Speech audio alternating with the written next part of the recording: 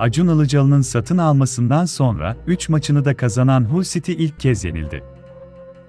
İngiltere Şampiyonşip'in 30. haftasında sahasında Preston'u ağırlayan Hull City, mücadeleden 1-0'lık mağlubiyetle ayrıldı. İngiltere Şampiyonşip'in 30. haftasında Hull City, sahasında Preston'u ağırladı. Acun Ilıcalı'nın sahibi olduğu İngiliz ekibi 3 maç sonra mağlup oldu ve mücadele 1-0'lık Preston üstünlüğüyle sona erdi. Hull City 3 maç sonra kaybetti. Preston'a galibiyeti getiren golü 51. dakikada Cameron Archer attı. Acun Ilıcalı satın aldıktan sonra ilk kez mağlup olan Hull City, 32 puanda kaldı. Preston ise yenilmezlik serisini 4 maça çıkardı ve 41 puana yükseldi.